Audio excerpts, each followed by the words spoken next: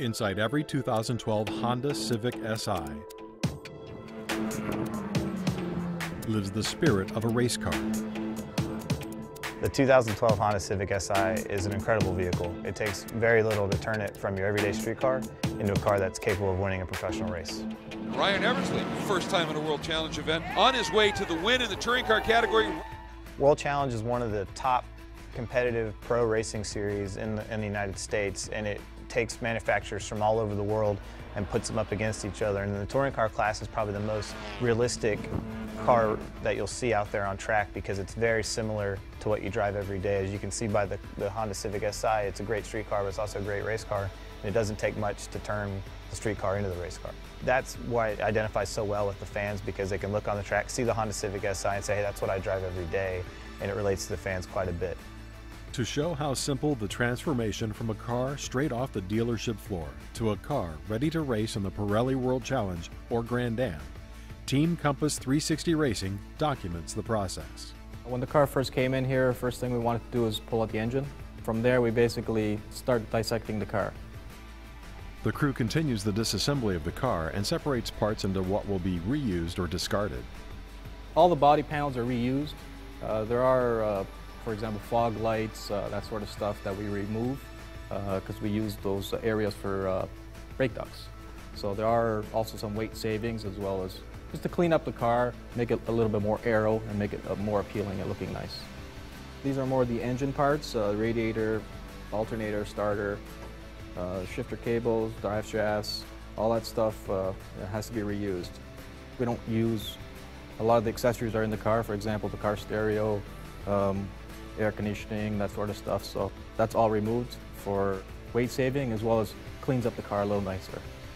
These are some of the interior parts that we've removed door panels, rear seats, front seats, uh, all that stuff is removed uh, when we're building the new car. From there, we start removing all the suspension components, and uh, there's new bushings um, that we uh, install into the OEM uh, suspension components.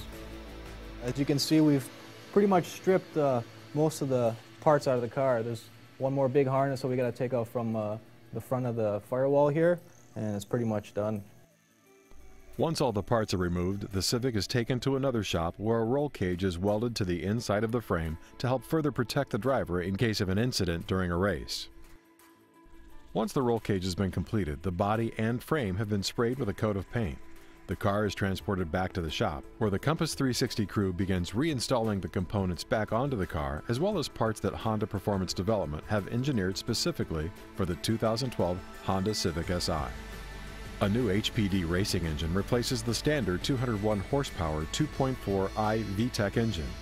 The horsepower is increased on our race engine versus a street engine by a good 25% or, or more.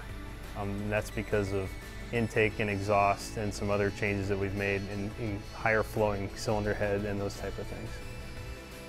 Along with the new engine, HPD has engineered a new engine exhaust manifold. The HPD exhaust manifold for, for racing has a much higher exhaust flow, so it helps helps get the, uh, the exhaust out of the engine faster, which then increases the horsepower. Other new enhancements have been developed with the same goal of improving the performance of the Civic Si, with emphasis on creating a more direct movement of the entire car. One of the things we're looking for when we design some of our parts is a direct action of the input of the driver to the output, which is, translates to the performance of the car on the track. So we've done that with our bushings, which we use a Delrin plastic, uh, eliminates the rubber in the suspension bushings. And on the engine mount side, we use a polyurethane plastic, which also eliminates movement in the engine. So when the driver shifts, changes gears, you get direct action right to the track. The Honda Performance Development engineered front camber caster plates have been designed to allow for adjustments when setting up the handling for a race. On a stock car, you don't have adjustments for camber, which is the tilting in or out of the, of the wheels, or caster, which is the fore and aft tilt of the strut. So HPD, we've designed those parts for racing that allow that adjustability for the suspension to maximize the cornering grip. For the production car racing series that the Civic Si runs in. HPD is designed specific to each series, a racing brake rotor that's a, a two-piece rotor. So a traditional rotor is a single-piece cast. That's what comes on your street car. For racing, we have two-piece rotors, which allow some, some flex in the system, but also improve cooling and reduce weight. The rotors themselves have veining in them that are directional, which help the, air, the hot air evacuate and cool the brake rotor itself. All of these enhancements are available exclusively through Honda Performance Development and HondaRacing.com forward slash HPD.